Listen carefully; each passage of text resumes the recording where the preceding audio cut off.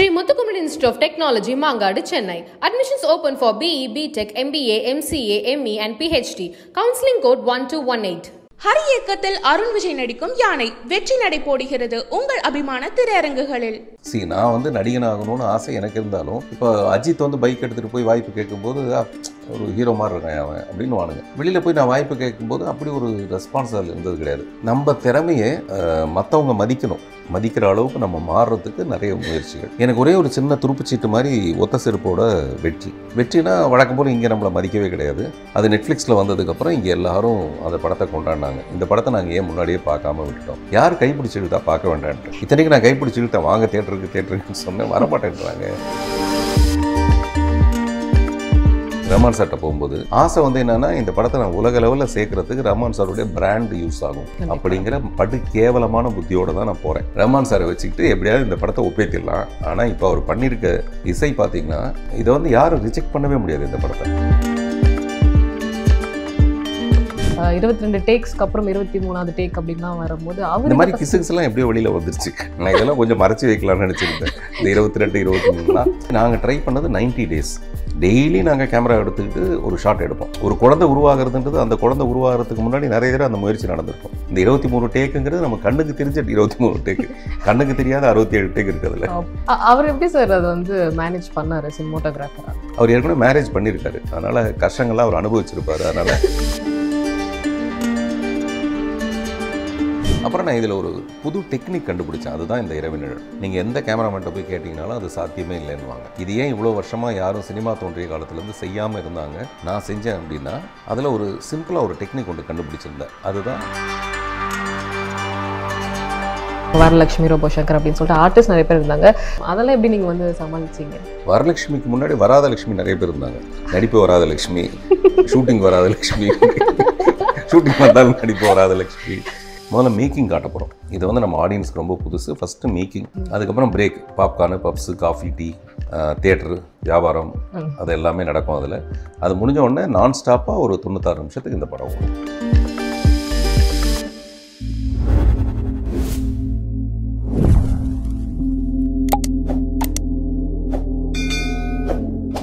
India clips நேர்கள் எல்லாருக்குமே ஒரு வணக்கம். ஸோ நம்மளோட திரையரங்குகளில் ஜூலை பதினஞ்சாம் தேதி ஒரு புதுமையான படைப்பு வந்து வரப்போகுது. ஸோ அந்த படைப்பை பற்றி படைச்சவர்கிட்டயே வந்து பேசலாம் அப்படின்றத வந்திருக்கோம். ஸோ ஹாய் சார் எப்படி இருக்கீங்க? நல்லா இருக்கேன். இந்தியா கிளிட்ஸ் நேயர்களுக்கு என்னுடைய பணிவான வணக்கம். சூப்பர் சார் நீங்கள் ஒரு வணக்கம் சொன்னீங்கல்ல? ஆமாம் ஓகே இது மறு வணக்கம். ஓகே சார் ஸோ இரவு நிழல் இதோட அந்த ஐடியா வந்து எப்படி சார் ஆரம்பிச்சது? சினிமாவில் என்னை எப்படி தக்க வச்சுக்கிறதுங்கிற யோசனை வந்து என்னுடைய முதல் படம் வந்ததுலேருந்து இருந்துகிட்டே இருக்கும். நான் தகுதி இருக்கோ இல்லையோ சினிமாவில் நடிக்கணும்னு ஆசைப்பட்டேன் முதல்ல. எனக்கு என்ன தகுதி இருக்குதுன்னு மற்றவங்க பார்வையில் அது தெரியாது. பட் எனக்குள்ளே இருந்தது அது. ஒரு கங்கு. அது அப்படியே தக தக தகன்னு இருந்தது. பட் வெளியில் யாரும் அதை மதித்ததே கிடையாது. சரி நான் வந்து நடிகன் ஆகணும்னு ஆசை எனக்கு இருந்தாலும் வெளியில் போய் நான் வாய்ப்பு கேட்கும்போது அப்படி ஒரு ரெஸ்பான்ஸ் அதில் இருந்தது கிடையாது. இப்போ அஜித் வந்து பைக் எடுத்துகிட்டு போய் வாய்ப்பு கேட்கும்போது ஒரு ஹீரோ மாதிரி இருக்கான் அவன் அப்படின்னு வானுங்க இல்லையா? நம்மளை மாதிரி ஆளுங்க போய் வாய்ப்பு கேட்கும்போது நில்லையா? அப்படின்னு சொல்லுவாங்க. அப்படி தான் பல நாள் வந்து வாசலில் நின்று அப்படி நம்ம திறமையை மற்றவங்க மதிக்கணும். மதிக்கிற அளவுக்கு நம்ம மாறுறதுக்கு நிறைய முயற்சிகள். அப்படி பண்ணி பண்ணி மெதுவாக ஒரு புதிய பாதை புதிய பாதையின் மூலமாக ஒரு அங்கீகாரம். புதிய பாதைங்கிறது முழுக்க முழுக்க மூளை. அது முகம் கிடையாது அது. மூளை. அந்த மூளையை வச்சு ஒரு ஸ்க்ரீன் ப்ளே பண்ணி அன்னைக்கு வந்த மிகப்பெரிய படங்களுக்கு நடுவில் என்னுடைய படத்தை விட்டு. ஜெயித்தேன் முப்பது வருஷம் முப்பத்தி ரெண்டு வருஷம் கழித்து மறுபடியும் மூளை. இதுக்கு பின்னாடி மிக அசாத்தியமான ஒரு உழைப்பு அசுரத்தனமான ஒரு உழைப்பு. அவ்வளோ போட வேண்டியதாக இருக்குது பத்து வருஷமாக இந்த கதை. மண்டையில் தான் ஓடிட்டு இருக்கு. இந்த ஐடியா வந்துருச்சு. ஆனால் இந்த ஐடியாவை எப்படி சாத்தியப்படுத்துறது? இது ஹாலிவுட் மாதிரி ஒரு இடத்துல இருந்தால் டெஃபினட்டாக இதுக்கு எவ்வளோ செலவாகுமோ அவ்வளோ செலவை வந்து நம்ம பண்ண முடியும். இங்கே அதுவும் வாய்ப்பில்லை. எனக்கு ஒரே ஒரு சின்ன துருப்புச்சீட்டு மாதிரி ஒத்த செருப்போட வெற்றி. வெற்றினா வழக்கம் போல் இங்கே நம்மளை மதிக்கவே கிடையாது. அப்புறம் அது மெதுவாக மெதுவாக மெதுவாக அதை எடுத்துகிட்டு போய் வேற எங்கேயோ ஒரு இடத்துக்கு சேர்த்ததுக்கு அப்புறம் அது நெட்ஃப்ளிக்ஸில் வந்ததுக்கப்புறம் இங்கே எல்லாரும் அந்த படத்தை கொண்டாடினாங்க. இந்த படத்தை நாங்கள் ஏன் முன்னாடியே பார்க்காம விட்டுட்டோம்? யார் கைப்பிடிச்சி இழுத்தா பார்க்க வேண்டான்ட்டு. இத்தனைக்கு நான் கைப்பிடிச்சி இழுத்தேன் வாங்க தேட்டருக்கு தேட்டருக்குன்னு சொன்னேன் வரமாட்டேன்றாங்க. நான் சொல்ல வர்றது அந்த நம்பிக்கையை வர வைக்கிறதுன்றது ரொம்ப ரொம்ப சிரமமான ஒரு விஷயமா இருக்குது இப்போ இந்த ஸ்கிரிப்ட் வந்து ஒரு அற்புதமான ஸ்கிரிப்டாகவே இருக்கலாம். ஆனால் இது செல்லுலாய்டுக்குள்ளே வரணும். வரத்துக்கு நிறைய பேரோட உழைப்பு கிட்டத்தட்ட முந்நூற்றி நாற்பது பேர் சிறுக சிறுக சிறுக. எங்களுக்கே தெரியாது. இந்த படத்தில் தான் அதிகபட்ச அசிஸ்டன்ட் டைரக்டர்ஸ் அதிகபட்ச கேமரா அசிஸ்டன்ஸ் அதிகபட்ச ஆர்ட் அசிஸ்டன்ஸ் ஒர்க் பண்ண போனாங்க எல்லாம் முப்பது முப்பது முப்பது அந்த லெவலில் இது வரைக்கும் யாரும் இவ்வளோ ஒர்க் பண்ணியிருப்பாங்களான்னு தெரியாது. ஆனால் எல்லாருமே ஒர்க் பண்ணாங்க. எல்லாருக்கும் டைட்டிலில் பேர் வரும். எண்டு கிரெடிட்ஸில் வந்து எல்லாருடைய பேர் இவ்வளோ பேர் ஒர்க் பண்ணாங்க. பட் இந்த படத்தில் எல்லாருமே ரொம்ப சின்சியராக ஒர்க் பண்ணாங்க. ரொம்ப சிரமத்துக்கு நடுவில் ஒர்க் பண்ணாங்க. இதெல்லாம் சேர்ந்த ஒரு ஒட்டுமொத்த உழைப்போட விளைவு வந்து இந்த இரவு நிழல். இப்போ திரையில் வந்து நீங்கள் பார்க்க போகிறது சூப்பர் சார் ஸோ ஆல்ரெடி இது வந்து ஒரு புது விஷயம் தான் ஒரே ஷாட்டில் வந்து எடுக்கிறோம் அப்படின்னு சொல்கிறது நம்ம சினிமாக்கு. அண்ட் அதுவும் நான் லீனியர் வந்து பண்ணுறீங்க இன்னும் நிறையா விஷயங்கள் வந்து ஏ சார் அதில் வந்து இன்க்ளூட் பண்ணிக்கிறீங்க. குழந்தைங்களை வச்சு பண்ணுறது இருக்கட்டும் இல்லாட்டி அனிமல்ஸ் வந்து இது பண்ணுறது எல்லாமே டஃப் சார். எப்படி சார்? எல்லாத்தையும் வந்து ஹேண்டில் பண்ணீங்க எல்லாமே டஃப் பட் எதுவுமே தப்பு இல்லைல்ல. தப்பாக இருந்தால் பரவாயில்ல வேணான்னு விட்டுறலாம். எல்லாமே டஃப்பாக இருக்குன்றது நமக்கு எப்போவுமே அப்படி அந்த எதிர்நீச்சல் அடிக்கிறதுல இருக்கிற ஒரு பெரிய அது பாட்டில் சவ சவன்னு போயிட்டுருக்க அந்த தண்ணியில். அவன் போய் நீந்திட்டு இருக்கான்றது அது ஒரு பெரிய சுவாரஸ்யமாக இருக்காது. எல்லாமே அப்படி தான் உங்களால் தடக்கலை போட்டின்னு ஒன்று இருக்கும்ல. தடைகள் நிறைய இருக்கும். அதை தாண்டி தாண்டி தாண்டி வரும்போது வந்து நின்னா கிளாப்ஸ் வரும். அப்போ அதுக்கு கிளாப்ஸ் வரதுக்கு ரீசன் வந்து இவ்வளோ தடைகள். அந்த மாதிரி இந்த படத்தில் வந்து நூற்றுக்கணக்கான தடைகள் சொல்ல முடியாத பிரச்சனைகள் இது எல்லாமே. அப்புறம் இப்போவா இருந்தால் நான் வந்து இந்த படத்தை வந்து ஒரு ஃபைட் வச்சுருப்பேன். இப்போ எனக்கு கொஞ்சம் பெரிய தெம்பி தெம்பே வந்துருச்சு.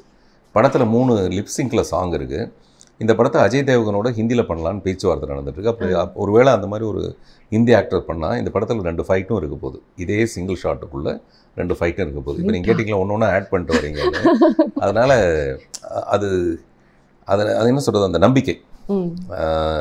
அப்புறம் நான் இதில் ஒரு புது டெக்னிக் கண்டுபிடிச்சேன். அதுதான் இந்த இரவு நிழல். இது ஏன் இவ்வளோ வருஷமாக யாரும் சினிமா தோன்றிய காலத்துலேருந்து செய்யாமல் இருந்தாங்க? நான் செஞ்சேன் அப்படின்னா அதில் ஒரு சிம்பிளாக ஒரு டெக்னிக் ஒன்று கண்டுபிடிச்சிருந்தேன். அதுதான் டிரான்சிஷன் ஒரு காட்சியிலேருந்து இன்னொரு காட்சிக்குள்ளே போகிற டிரான்சிஷனும் அப்புறம் நைட்டில் தான் ஷூட்டிங் நடக்கும் பட் டே டே எஃபெக்டில் நாங்கள் எடுத்தோம். டேயும் நைட்டும் மாறி மாறி ஒரே ஷாட்டில் வர்றதுன்றது நீங்கள் எந்த கேமராமேன்ட்ட போய் கேட்டிங்கனாலும் அது சாத்தியமே இல்லைன்னுவாங்க. அதை சாத்தியப்படுத்தியிருக்கிறதுக்கு அஹ், பின்னாடி நிறைய உழைப்பும் முயற்சியும் அப்புறம் ஒரு சாங் தான் இருந்தது இதில் லிப்சிங்கில் அது என்னால் செய்ய முடியும்னு வந்ததுக்கப்புறம் ரெண்டாவது சாங் மூணாவது சாங்னு அப்படி போய் கிட்டத்தட்ட ஆறு சாங் ரமான் சார். வா. ரமான் சாரோட இந்த ஒரு படம் பண்ணது வந்து நான் கிட்டத்தட்ட ஒரு நூறு படம் பண்ணதுக்கு சமம். எனக்கும் சரி அவருக்கும் சரி. அவருக்கும் வந்து இந்த படத்தில் இருந்த ஒரு ஸ்க்ரீனில் தெரிஞ்ச ஒரு ஒரு ஸ்க்ரீன் பிளேயும் ஒரு அப்ஸ்ட்ராக்ட் தன்மையும் நிஜமான நடிப்பை மீறின இருந்த நிஜம். அதில் அவருக்கு ஒத்து வராத ஒரு விஷயம் இது வந்து கொஞ்சம் டார்க் ஃபில்ம் இது வரைக்கும் அவர் பண்ணதில் எதுவுமே இந்த அளவுக்கு டார்க் ஃபில்ம் ஒன்று கிடையாது. இதில் நம்ம மொழி உட்பட இது ஒரு சிங்கிள் ஷாட்டுங்கிறதுனால சென்சாரில் என்ன பண்ணியிருக்காங்கன்னா சில இடங்களில் டயலாக் மியூட் பண்ணியிருக்காங்க மியூட் பண்ணியிருக்காங்க நோ கட் இதை கட் பண்ண முடியாது. அப்புறம் அந்த வார்த்தைகள் வந்து நமக்கு பழகி போன இந்த சென்சார்னால அவங்க அப்படி நினைக்கிறாங்க. அப்புறம் அவங்க சொல்கிற ஒரு பதில் என்னென்னா உங்கள் படத்தில் விட்டுட்டேன்னா உங்கள் படத்தில் நியாயமாக இருக்குது விட்டுட்டேன்னா இன்னொரு படத்தில் ஏன் எனக்கு விடக்கூடாதுன்னு கேட்பாங்க இந்த படத்தை உதாரணம் சொல்லி அதனால் அப்படின்னு. அப்புறம் ஸோ அதனால் நானும் அதை வந்து சமாளிச்சிக்க வேண்டியதாக இருக்கே தவிர இல்லாட்டி ரொம்ப அப்ஜெக்ஷனபுளான ஒரு பெரிய டயலாக்லாம் இதில் இல்லை. நீங்கள் தெருவில் நடந்து போகும்போது எல்லாமே கேட்பீங்க தெருவில் நடந்தும்போது ஒரு குழாயடி சண்டையில் அங்கே பத்து கெட்ட வார்த்தைகள் காதில் விழுந்துக்கிட்டே தான் இருக்கும் அது அப்படியே மாறி சர்ச்சுக்கு போனால் அங்கே பெல் அடிக்கும். அதுக்காக நம்ம எப்போ பார்த்தாலும் சர்ச்சிலேயே நடந்துட்டு இருக்க முடியாது. நம்ம வேற ஏதாவது நோக்கி சர்ச் பண்ணி தானே போவோம். Super sir. அப்போ நீங்கள் இது நான் சொல்லும்போது நீங்கள் சிரிக்கிறீங்களே இந்த சர்ச்சுக்கும் சர்ச்சுக்கும் நடுவில் நடக்கிற ஒரு விஷயம். இது யார் ரொம்ப அதிகமாக ரசிப்பா? இப்போ இதுவே ஒரு நாற்பது வயசில் ஒரு அம்மா உட்கார வச்சுருந்தீங்கன்னு வச்சுங்க. அவங்க இது அவ்வளோ ரசிக்க மாட்டாங்க. இது கொஞ்சம் அதிக பிரசிங்கத்தனமாக பேசுது அப்படின்னு நினைப்பாங்க. உங்களை மாதிரி ரசிக்கிறவங்களுக்காகவும் இதை வரவேற்கிறவங்களுக்காகவும் தான் இந்த படம். இந்த படத்துக்கான ப்ரொமோஷன்ஸ் சார் ஸோ இப்போ தான் ஸ்டார்ட் பண்ணியிருக்கீங்க பட் இருந்தாலும் வந்து விஜய் டிவி போகிறது அந்த மாதிரி ப்ரொமோஷன்ஸ் வந்து பயங்கர ஸ்ட்ராங்காக இருக்குது ஸோ அதுக்கான காரணங்கள் வந்து இது புதுமையாகவும் இருக்குது அந்த ப்ரொமோஷன்ஸ் மல்லிகைப்பூவே நம்ம வந்து கூவி கூவி விற்க வேண்டிய ஒரு கட்டாயம். நீங்கள் பாண்டி போய் பாருங்கள் காகிதப்பூ இருக்கும் கலர்ஃபுல்லாக இருக்கும். ஆனால் மல்லிகைப்பூ கத்தி விற்பாங்க வாசனையை பார்த்து வாங்கிட்டு போகிறதுக்குலாம் இங்கே யாரும் ஆள் கிடையாது. இந்த படம் வந்து இவ்வளோ நான் இவ்வளோ சொல்கிறேன்ல உடனே இந்த படத்தை வந்து பல கோடி ரூபாய்க்கு வாங்கிட்டு போகிறதுக்கு இங்கே ஆள் கிடையாது. அப்போவும் அவங்க பார்க்குற ஒரே ஒரு கேஜ் வந்து தியேட்டரில் இது என்னவா ரியாக்ட் பண்ணுறாங்கன்னு பார்க்கலாம். சார் இதெல்லாம் இங்கே நல்லா இருக்குன்னு சொல்லுவாங்க சார். ஸ்க்ரீனுக்கு வந்தால் தான் சார் தெரியும். ஸ்க்ரீனில் வந்து யாருமே தேட்டருக்கே வரமாட்டேங்கிறாங்க சார். இப்படி உங்களை டிஸ்கரேஜ் பண்ணுறதுக்கு தான் ஆள் இருக்காங்க. அப்போ நான் நம்புகிற ஒரே ஒரு விஷயம் கடவுளுக்கு பதிலாக ரசிகர்கள். அப்போ நம்ம அவங்களுக்கு எந்தெந்த வழியில் போகிறது இப்போ நான் சுழல்னு ஒரு வெப்சீரிஸ் ஒன்று பண்ணேன். நீங்கள் பார்த்தீங்கன்னா எல்லா பிரிட்ஜ்லேயும் பிரிட்ஜுக்கு மேலே தானே ட்ரெயின் ஓடும். இது அவங்க பேனருக்கு மேலே ட்ரெயின் ஓடிட்டுருக்கு. எல்லா பிரிட்ஜிலையும் பேனராக வச்சு அடிக்கிருக்காங்க சுழலுக்கு மேலே தான் ட்ரெயின் போகுது ஃப்ளைட்டு போகுது அந்த மாதிரி போகுது. ஸோ கிட்டத்தட்ட இருபது கோடி ரூபாய் ஸ்பெண்ட் பண்ணி அவங்க ஒரு பெரிய விளம்பரம் பண்ணியிருக்காங்க. அப்போ தான் அது உங்கள் கண்ணுக்குள்ளே வருது. அப்படி இருக்கும்போது நான் என்ன பண்ணுறது அப்போ நான் அவ்வளோ செலவு பண்ண முடியாது. அந்த டைம் அந்த அந்த சேம் டைம் இது போய் ரீச் ஆகணும். சுழல் வந்து முப்பது லாங்குவேஜ் இரநூத்தி பத்து கண்ட்ரி அந்த மாதிரி தான் இரவினர்கள் இருந்திருக்கணும். இதுக்கு ஒரு லாங்குவேஜ் பேரியரே கிடையாது. இது பல மொழிகளில் எடுக்கப்பட்டிருக்கணும். இந்நேரமே எடுக்கப்பட்டிருக்கணும். அதுக்கு யாரோ முன் வந்திருக்கணும். இங்கே இருக்கிற ரொம்ப பெரிய வருத்தமான விஷயம் என்னென்னா யாராவது புது முயற்சி பண்ணும்போது இந்த மாதிரி உங்களை இருந்து உங்களை மாதிரி இப்போ இந்தியா கிளட்ஸ்லேருந்து வராங்க வேற ஒரு பத்திரிகைலேருந்து வராங்க இவங்க பாராட்டுற மாதிரி இங்கே இருக்கிற வியாபாரிகள் அது ஒரு பெரிய விஷயமா எடுத்துக்கிறது இல்லை. See இந்த வியாபாரத்துக்குள்ளே நம்மளும் இருப்போம். நம்மளும் இதில் இன்வெஸ்ட் பண்ணுவோம். இது வாழ்க்கை வந்து வெறும் பணம் கிடையாது. பெரிய பெரிய பணக்காரன் புதஞ்சதுக்கு அப்புறமேலே அவ்வளோதான் நம்ம வந்து சுடுகாடு சுடுகாடுன்னு கேவலமாக பேசுகிறோம் அந்த சுடுகாட்டுக்கு போகிறதுக்கு தான் அத்தனை பேரும் செத்து கிடக்குறானுங்கன்னு ஒரு ஒரு வரி படித்தேன் நான் சொல்கிறது சுடுகாடு சுடுகாடுன்னு கேவலம் பேசுகிறோம் ஆனால் அங்கே போகிறதுக்கு தான் அவ்வளோ பேரும் செத்து செத்துட்டு கிடக்குறானுங்கன்ட்டு. அந்த மாதிரி ஒரு ஒரு ஃபார்முலாவில் சினிமா ஜெயிச்சிருச்சுன்னா அந்த ஃபார்முலாவிலேயே நம்ம படம் எடுக்கணும். அப்படிங்கிறது சில பேருடைய கட்டாயம். எனக்கு இந்த புருவ விரிப்பை ஏற்படுத்தணும்னா டெஃபினட்டாக அந்த ஃபார்முலாக்குள்ளே நான் இருக்கக்கூடாது. அப்போ நான் வேறு ஏதோ ஒன்று பண்ணணும். அதனால் நான் வந்து இறைவனிழல் அதுக்கு நிறைய நீங்கள் சொல்கிற மாதிரி விஜய் டிவியோ எங்கே கூப்பிட்டாலும் போயிடுவேன் இப்போ இந்த வீட்டுக்குள்ளே ஓட்டு வாங்குறது பின்ன எப்படி? பின்ன எதுக்கு அரசியல்வாதிகள்லாம் வந்து அந்த ஒரு ஒரு மாதம் ஒன்றரை மாதம் குடிசைக்குள்ளே போய் கூழ் குடிக்கிறதெல்லாம் எதுக்கு? அந்த பத்து ஓட்டை வாங்குறதுக்கு தானே. அதே தான் நானும் விட்டா நானும் அந்த மாதிரி குடிசைக்குள்ளே போய் இங்கே ஒரு நூறு ஓட்டு இருக்குங்கன்னு சொன்னேன் நானும் போய் பேசுவேன். சூப்பர் சார் கண்டிப்பாக நிறைய பேருக்கு வந்து இது ரீச் ஆகுது தான் எங்களுக்கு அது தெரிஞ்ச வரைக்கும். அண்ட் இவ்வளோ தடைகள் இருக்குது நீங்கள் இப்போ யோசிச்சீங்கன்னா ஸ்டார்டிங்கில் இன்னும் வந்து யோசிச்சிருந்துருப்பீங்க. ஸோ அந்த தைரியம் எங்கேன்னு சார் வந்துச்சு? சரி நம்ம இதை வந்து பண்ணிடலாம் அப்படின்ற ஒரு தைரியம். இன்னுமே தடைகள் இருக்கு இல்லையா?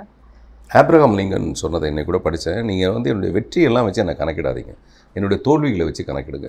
நான் எத்தனை தடவை கீழே விழுந்திருக்கேன்னு பாருங்கள் அந்த மாதிரி எனக்கு வந்து நான் எத்தனை தடவை கீழே விழுந்திருக்கேன்? எந்திரிக்க முடியாமல் விழுந்திருக்கேன். அப்புறம் நானே தான் குட்டிக்கரணம் போட்டு முட்டி மோதி ஏந்திச்சு நின்று இருக்கேன் அப்போல்லாம் நல்லா தெரிகிறது. ஒரு மனிதன் தன் மேலே வைக்கிற நம்பிக்கை மட்டும்தான் அவனுடைய வாழ்க்கை வளர்ச்சி.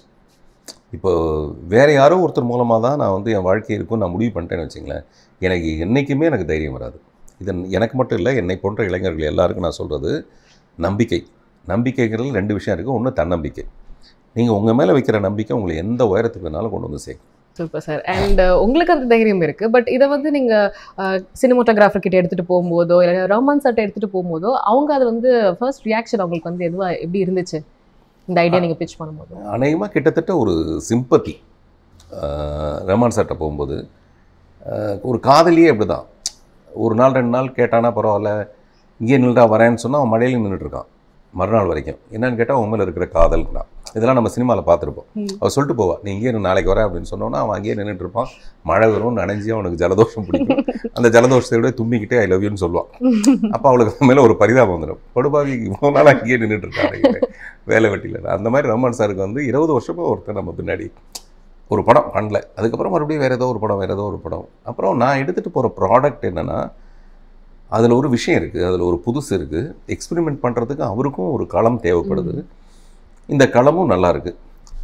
அதனால் நான் எதுக்கு சொல்ல வரேன்? வெறும் சிம்பத்தியாக இருந்தால் வெறும் பிச்சைக்காரன் ஆகிடுவோம் வாசலில் நின்று அம்மா தாயே தான். இது அப்படி கிடையாது. நான் ஒரு பியூட்டிஃபுல் ப்ராடக்ட்டை எடுத்துகிட்டு போய் அவர்கிட்ட காமிச்சு சார் இது நீங்கள் பண்ணால் நல்லாயிருக்கும் ஆசை வந்து என்னென்னா இந்த படத்தை நான் உலக லெவலில் சேர்க்கறதுக்கு ரஹ்மான் சாருடைய பிராண்ட் யூஸ் ஆகும். அப்படிங்கிற படு கேவலமான புத்தியோட தான் நான் போகிறேன் முத முதல்ல அவ்வளவு கேவலமான புத்தி. நம்ம இதை வந்து யாரும் இப்படி சொல்ல மாட்டாங்க. எனக்கு வந்து ரஹ்மான் சாரோட ஒரு படம் பண்ணணும்னு நினச்சிருந்தேன் அப்புறம் ரஹ்மான் சாரை கூப்பிட்டு கேட்டார் ஃபோனில் ஒரு நாள். உங்ககிட்ட ஏதாவது கதை இருந்தால் பண்ணலாமான்னு கேட்டார். அப்புறம் இந்த கதை சொன்னாப்பெல்லாம் ஒன்றுமே கிடையாது. மிக கேவலமான ஒரு புத்தி.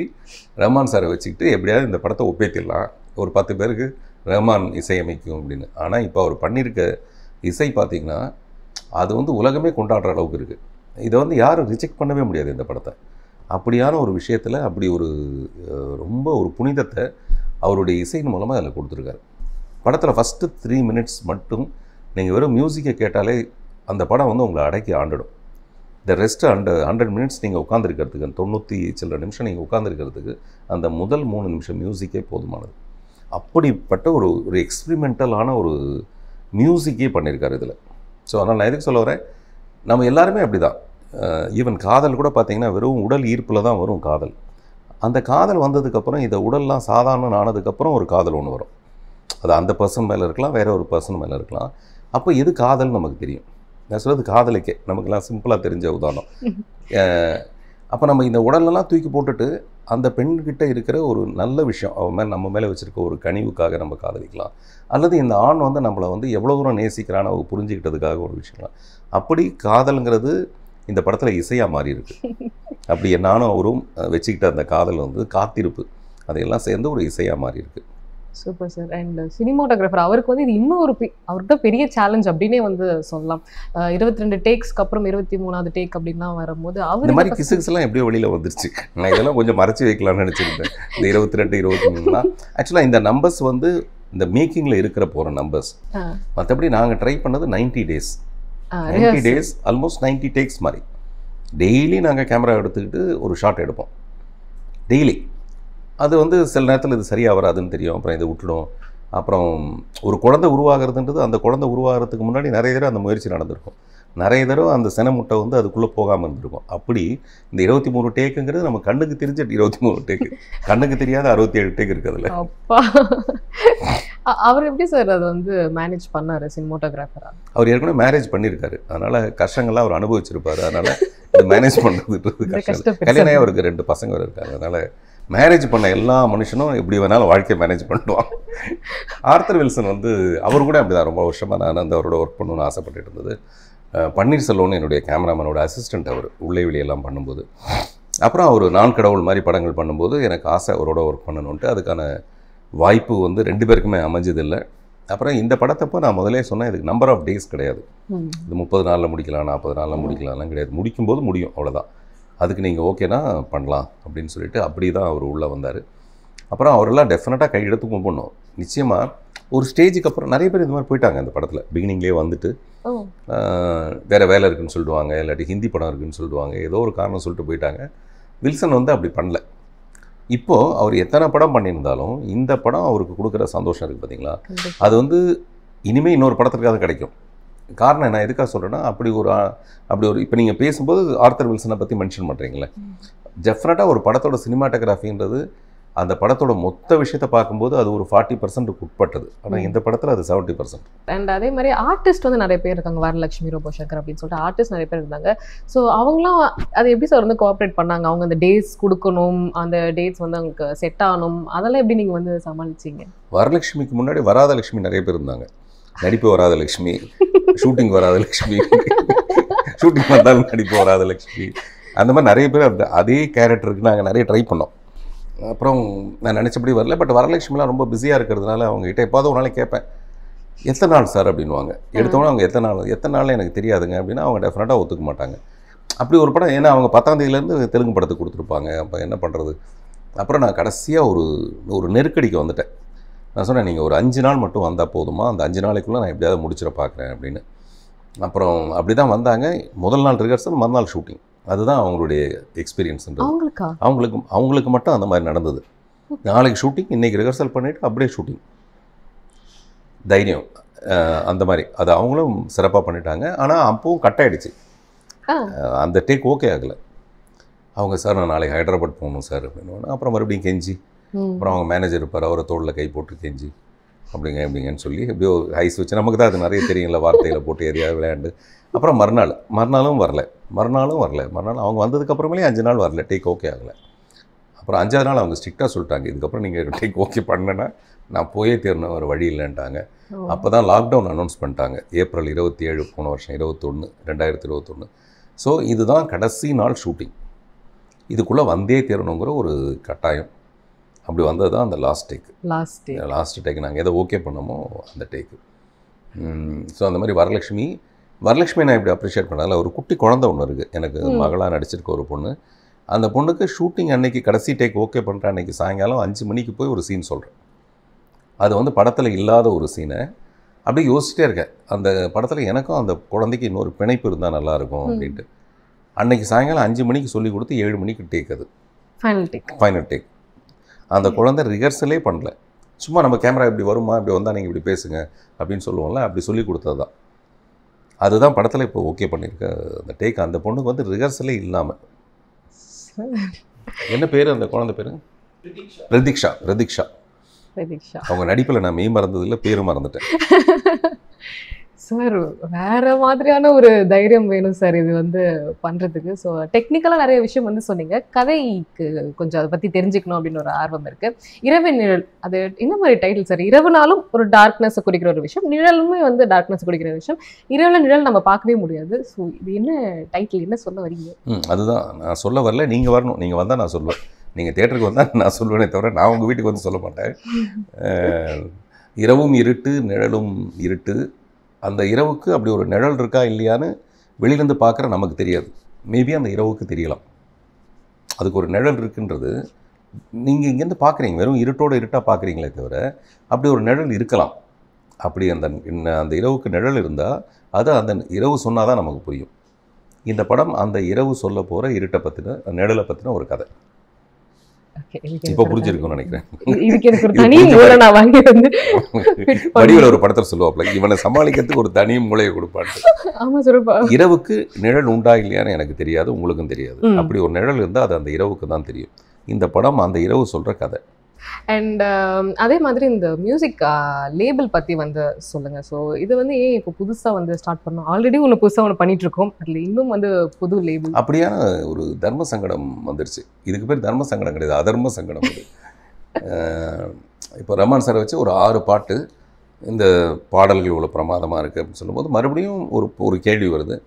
இது எந்த பெரிய ஹீரோ நடித்த படத்தில் இந்த ஆறு பாட்டு வரப்போகுது? திருப்பி திருப்பி அதே பிரச்சனைக்குள்ளே வந்துடுறாங்க எல்லாருமே. அது வந்து இந்த படம் வந்து எவ்வளோ தூரம் ஹிட் ஆகும்? அப்போ தான் இந்த பாடல் எல்லாமே ஹிட் ஆகும். அப்படி பார்த்தா அன்னைக்கிளின்னு ஒரு படமும் இளையராஜான்னு ஒருத்தருமே வந்திருக்க முடியாது. பார்த்திபன் புதிய பாதைன்னு ஒன்று வந்திருக்கவே முடியாது. இப்படி தான் இவனுங்களுடைய எண்ணத்தை பிரேக் பண்ணிட்டு தான் ஒன்று ஒன்று வந்திருக்கு. இதை நம்ம பல தடவை சொல்லி பார்ப்போம். அது சரியாக வரல அப்படின்னு ஒன்று நானே துவனின்னு சொல்லிட்டு ஒரு ஆடியோ லேபிள் ஒன்று புதுசு. அது ஆரம்பிச்சிட்டதுனால எனக்கு என்ன விஷயம்னா இதன் மூலமாக நிறைய பேர் இப்போ என்ன மாதிரி நிறைய பேர் வந்து இண்டிபெண்ட் சாங்ஸு அது எல்லாத்தையுமே அதுக்குள்ளே கொண்டு வரலாம். அது நமக்கு நாளைக்கு ஒரு ஒரு முக்கியமான ஒரு விஷயமா அமையலாம் வாழ்க்கையில். அப்புறம் இந்த படத்தில் ரஹ்மான் சாரோட இவ்வளோ பியூட்டிஃபுல் சாங் இருக்கும்போது சாங் எங்கே இருந்தாலும் தேடி கண்டுபிடிச்சி அந்த சாங் கேட்பாங்கன்ற ஒரு நம்பிக்கை. அப்படி தான் இப்போ இந்த பாடல்கள் எல்லாமே பரபரப்பாக இருக்குது ஆனால் என்னென்னா அதுக்கு வந்து கொஞ்சம் சப்ஸ்கிரைபர்ஸ் கம்மியாக இருப்பாங்க. பிகினிங் தானே அதனால் அப்படி இருப்பாங்க. அதனால் இதை பார்த்துட்டு இருக்கவங்க இந்தியா கிளிக்ஸ் மூலமாக இந்த பேட்டியை பார்த்துட்டு இருக்கவங்க துவனி அதை வந்து சப்ஸ்கிரைப் பண்ணுங்கள் அப்புறம் பெல் அடிங்க லைக் போடுங்க ஏதாவது பண்ணுங்கள் ஆனால் பாருங்கள் சூப்பர் சார் ஸோ இதுவே ஒரு புதுமையான படைப்பு தான். இதையும் தாண்டி புதுசாக வந்து இப்போ என்ன பண்ணணும் உங்கள் மைண்டில் வந்து ஓடிட்டுருக்கு? என்ன மாதிரி விஷயம் சார் இப்போதைக்கு ஆகஸ்ட் ஜூலை ஃபிஃப்டீன்த் ஜூலை ஃபிஃப்டீன்த்துக்கு இந்த படம் எப்படி வரவேற்கப்படுது? இது வரைக்கும் படம் பார்த்ததில் ஆயிரத்தி நூறு பேர் இருப்பாங்க. ஆயிரத்தி நூறு பேரும் நல்லா இருக்குன்னு சொல்லியிருக்காங்க. எனக்கு முன்னாடி மட்டும் இல்லை பின்னாடியும் போய் கூட நல்லா இருக்குன்னு தான் சொல்லியிருக்காங்க. அதனால் அப்படி ஆடியன்ஸு நான் வந்து எல்லோரையும் கேட்பேன். ஆடியன்ஸும் இப்படி தானே இருப்பாங்க. ஆடியன்ஸ் மட்டும் தனியாக வேற்று கிரகத்தில் இருந்தால் பிறந்து வர போகிறாங்க அப்புறம் எமோஷனோட எல்லாருமே கனெக்ட் ஆகிடுவாங்க நான். சொல்கிறது அதான். இந்த கதையில் வந்து சிங்கிள் ஷாட்டு அது மாதிரி டெக்னிக்கல் என்ன ஆஸ்பெக்ட்ஸ் இருந்தாலும் இந்த நான் மேக்கிங் அரை மணி நேரம் போட்டு காமிச்ச உடனே எனக்கு தெரிஞ்சு ஷோவில் வெளியில் வரவங்க எல்லாமே கண் கலங்கி தான் வந்திருக்காங்க. பிகாஸ் அது எதுவுமே நடிப்பு இல்லை அதோட ரியல் பெயின் இந்த படம் எடுக்கிறதுக்காக ஏற்பட்ட ஒரு பெயின் அது வந்து எங்கள் உயிர் அப்படியே வழிஞ்சு போகிறதெல்லாம் தெரியும் படத்தில் ஸ்க்ரீனில் தெரியும். அதை பார்த்துட்டு எமோஷ்னலாகி வந்தவங்க தான் அந்த ஃபஸ்ட் ஆஃப் பார்த்தவங்க. ஃபஸ்ட் ஆஃப்னா இப்போ நம்ம படத்தில் முதல்ல மேக்கிங் காட்ட போகிறோம் இது வந்து நம்ம ஆடியன்ஸ்க்கு ரொம்ப புதுசு. First making for half an hour okay அதுக்கப்புறம் break popcorn puffs coffee tea theatre வியாபாரம். அது எல்லாமே நடக்கும் அதில். அது முடிஞ்ச உடனே நான் ஸ்டாப்பாக ஒரு தொண்ணூத்தாறு நிமிஷத்துக்கு இந்த படம் ஓடும். அந்த படத்துக்கு நடுவில் ஒரு இடைவேளை வராது. அதனால் நாங்கள் இப்படி ஒரு ஏற்பாடு பண்ணியிருக்கோம். Okay okay. ஸோ அந்த படத்துக்கு நடுவில் அந்த பிரேக் இது பண்ண முடியாது அப்படின்றதுனால அதனாலே இல்லை இந்த மேக்கிங் நம்ம முன்னாடி உங்களுக்கு காட்டணும். அப்போ தான் இந்த நான் லீனியர்னா என்னன்னு தெரியும். ஸோ இது ஒரு புதுவிதமான ஒரு எக்ஸ்பீரியன்ஸாக இருக்கும். அதனால் அந்த பிகினிங் மேக்கிங்கை வந்து யாரும் மிஸ் பண்ணுறக்கூடாது அதை பார்த்தா தான் இந்த படம் என்னன்னு நமக்கு புரியும். இந்த படம் அந்த மாதிரியான ஒரு விஷயம். சூப்பர் சார் அண்ட் நிறைய ஃபெஸ்டிவல்ஸ்க்கு வந்து போயிருக்கு. ஸோ அதோட ஆடியன்ஸ் ரியாக்ஷன் வந்து லைவாக எப்படி இருந்துச்சு? நான் கான்ஸில் பார்த்தேன். கான்ஸில் வந்து அந்த மிகப்பெரிய தொப்பி போட்டுக்கிட்டு பெரிய பெரிய அந்த ஃப்ரெண்ட்ஸில் இருந்த ரெண்டு டேரக்டர் அவருலாம் பார்ப்போம். நம்ம அப்படியே அண்ணாந்து பார்ப்போம். அப்புறம் அவங்கெல்லாம் வந்து இந்த படத்தை வந்து இட்ஸ் அன்இமேஜினபிள் எப்படி இப்படியான ஒரு படம் அதுவும் அப்படிலாம் சொல்லும்போது நமக்கு பயங்கர சோக்காகி அடுத்து என்னை பேச சொல்லும்போது நான் அப்படியே கண்ணெல்லாம் கலங்கி சோக்காயிட்டேன் அப்புறம் ரமன் சார் ஓடி வந்தார் கட்டி பிடிச்சாரு அப்படி தட்டி கொடுத்தாரு. அவ்வளோ நான் சொல்கிறது அந்த எமோஷன் இதை வந்து நீங்கள் பல கோடி கொடுத்துலாம் நீங்கள் அதை கொண்டு வந்துடவே முடியாது. வாழ்க்கையில் எப்போவாவது சில சில நேரத்தில் நமக்கு வந்து அந்த கூஸ் பம்ப்ஸ் அப்படின்னு ஒன்று வரும். அந்த மாதிரியான சந்தர்ப்பங்கள் தான் முதல்ல கான்ஸ்கில் வந்து நம்ம படத்தை ஸ்க்ரீன் பண்ணுறது ரெட் கார்பெட்டில் நடந்து போகிறது இது எல்லாமே வந்து நம்மளுடைய ஒரு நிலவில் கால் வைக்கிற மாதிரியான ஒரு ஆம்ஸ்டாங் ஆசைகள் இது எல்லாமே ஸோ அதெல்லாம் கொஞ்சம் கொஞ்சமாக நடக்க நடக்க நடக்க நமக்கு இந்த வெறி அதிகமாகிடும் இந்த கிக் அதிகமாகிடும் ஸோ அப்படி இது வரைக்கும் நடந்ததெல்லாம் சந்தோஷம். ஆனால் நீங்கள் என்ன சந்தோஷத்தை பார்த்தாலும் அது நம்ம ஊரில் நம்ம தேட்டரில் அந்த ஃபஸ்ட் ஷோ பார்த்துட்டு வெளியில் வந்தோன்னே சொல்ல போகிறாங்க பார்த்தீங்களா அதுதான் இப்போ நான் ஆர்வமாக எதிர்பார்த்துட்டு இருக்கிறது. அதை தாண்டி நிறைய கனவுகள் கற்பனைகள்லாம் இருக்கலாம். இப்போதைக்கு என்னுடைய கனவு வந்து அந்த ஜூலை பதினஞ்சு ஸ்க்ரீனில் இது என்னவா? ஆனால் இது வரைக்கும் பல தடவை நான் இந்த மாதிரி யோசிச்சிருக்கேன். கதை திரைக்கதை வசனம்னு ஒரு படம். இப்போ கதை இல்லாமல் ஒரு படம் எடுத்தேன். அந்த படத்தை எப்படி ஜனங்க பார்ப்பாங்கன்னு எனக்கு ஒரு பயம் இருந்தது. எனக்கு ஜுரம் வந்தது அன்னைக்கு காலையில். கையில் வந்து டிக்கெட்டு தியேட்டர் டிக்கெட்டை கையில் வச்சுக்கிட்டு அப்படியே உட்காந்துருக்கேன். பயத்தில். அந்த ஃபஸ்ட் ஷோ முடிஞ்சவொடனே எல்லாரும் சொன்னாங்க ஏஞ்சி நின்று கை திட்டுறாங்க சார் அப்படின்ட்டு. அப்போ அப்படியே அப்புறம் சொல்லிட்டு அப்புறம் தான் நான் தேட்டருக்கு போனேன். அந்த மாதிரி ஒத்த சிறப்புக்கும் நான் பயந்தேன். ஒத்த செருப்புக்கும் தேட்டரில் நல்ல ரெஸ்பான்ஸ் இருந்தது. அதனால் எனக்கு என்ன தெரியும்னா ரசிகர்கள் நம்மளை விட புத்திசாலிகள். அவங்களுக்கான அவங்களுடைய ரசனைக்கு தகுந்த மாதிரி படங்கள் வரும்போது டெஃபினட்டாக அவங்க அதை அக்செப்ட் பண்ணிக்குவாங்கன்ற நம்பிக்கை இருக்குது அப்படி தான் இந்த படத்துக்கும் ஒரு வரவேற்பு இருக்குன்றது எதிர்பார்ப்பு. அண்ட் நீங்கள் இப்போ ஒருத்தங்களுக்கு கிஃப்ட் பண்ணுறீங்கன்னா அது ஒரு புதுமையாக ஏதாவது ஒரு விஷயம் வந்து பண்ணுவீங்க. ஸோ இந்த படத்துக்கு உங்களுக்கு புதுசாக கிடைச்ச கிஃப்ட்னா எது சொல்கிறது ஒரு அப்ரிசியேஷனாக இருக்கட்டும். எனக்கு இது புதுசாக இருந்துச்சு. இல்லை முதல் முதல்ல அப்ரிசியேஷன் வந்து ரஹ்மான் சார் ரஹ்மான் சார் எப்படி இந்த படத்தை பார்த்தாருங்கிறது நான் அவரை பார்த்துக்கிட்டே இருந்தேன். அவர் எங்கள் ஜூமில் தான் பார்த்தோம். நான் அவர் வந்து துபாயிலேருந்து பார்க்கும்போது நான் இங்கேருந்து பார்த்துட்ருக்கேன் அதனால் ஜூமில் வந்து அவருடைய கண்கள் எங்கெல்லாம் நகர்ந்து போயிட்டுருக்கு ஃப்ரேமோட எல்லா எட்ஜஸையும் பார்க்குறாரு இந்த ஃப்ரேமில் என்ன இருக்குது இந்த கார்னரில் என்ன இருக்குது உட்பட பார்க்குறாரு நான் வந்து வெறும் அவர் கண்ணை மட்டும் தான் பார்க்கறதுனால எனக்கு அவர் என்ன பார்க்குறாருன்னு தெரியும். ஏன்னா இந்த ஃப்ரேமுக்குள்ளே நான் என்ன வச்சேன்னு எனக்கு தெரியும் இல்லையா? அதனால் அது எனக்கு அந்த மாதிரி அவர் பார்த்ததுக்கப்புறம் அவர் கிடைச்ச ஒரு எக்ஸ்ப்ரெஷன் அப்புறம் அதை வந்து அவர் மணிரத்னம் மாதிரி சில பேர்கிட்ட சொன்னது சேகர் கபூர்கிட்ட சொன்னது எல்லார்ட்டையும் சொன்னது. இப்போ எங்கேயாவது பார்த்தாருன்னா அவர் முதல்ல அப்படி தான் இன்ட்ரடியூஸ் பண்ணுவார். That man that single shot non linear he's that person அப்படின்னு இன்ட்ரடியூஸ் பண்ணுவார். ஸோ அந்த என்ன சொல்கிறது அதுதான் முதல் முதல் பாராட்டு. அந்த முதல் பாராட்டு ரொம்ப பெரிய முக்கியமான ஒரு பாராட்டு. ஏன்னா அவர் பாராட்டுனால அசந்து போகிற ஒரு மனுஷனே கிடையாது. அப்ரிஷியேட் பண்ணது. அப்புறம் அதை தொடர்ந்து எல்லாருமே படம் பார்த்த எல்லாருமே ஒருத்தர் விடாமல் அது பின்னாடி ரொம்ப எமோஷனலாக வந்து கட்டி பிடிச்சிட்டது உட்பட அது எல்லாம் இப்போ கிடச்சிருக்க சந்தோஷம். ஓகே ஃபைனல் கொஷின் என்ன எதிர்பார்க்குறீங்க இந்த படம் ரிலீஸ் ஆனதுக்கப்புறம் என்ன மாதிரி அவார்ட்ஸ் கிடைக்கும்னு எதிர்பார்க்குறீங்க? ஸோ சினிமா அது எப்படி இல்லை இது. தியேட்டரில் ரிலீஸ் ஆகும்போது அங்கே அவார்டுக்கான பேச்சே கிடையாது. அங்கே ரிவார்டு மட்டும்தான். அங்கே வந்து நமக்கு அந்த ஒரு ஷோக்கு அப்புறம் அடுத்த ஷோவில் அப்படி அப்படியே கூட்டம் டபுளாக மாறுது ட்ரிபிளாக மாறுது அப்படின்ற ஒரு செய்தி தானு சார் ஆஃபீஸ்லேருந்து வரும். வரதான் போகுது. வரும்போது அதுதான் பெரிய சந்தோஷம். இது வந்து நான் ரசிகர்கள் மேலே வைக்கிற நம்பிக்கை. அப்புறம் அந்த படம் பார்த்தீங்கன்னா படம் வந்து உங்களை எமோஷனலாக கனெக்ட் பண்ணிடும். அவ்வளோதான் அதுக்கப்புறம் நீங்கள் இதெல்லாம் மறந்துடுவீங்க. இந்த சிங்கிள் ஷாட்டு அது எல்லாத்தையுமே மறந்துடுவீங்க. மறந்துட்டு படமாகவே உங்களுக்கு அதை உங்களை திருப்திப்படுத்துகிற ஒரு படமாக இருக்குன்ற நம்பிக்கை. எஸ் சார் ஸோ ஜூலை ஃபிஃப்டீனுக்கு நாங்களும் வந்து பயங்கர ஆர்வமாக வந்து வெயிட் பண்ணிட்டு இருக்கோம் so thank you so much wait பண்ணாதீங்க. போய் பாருங்க.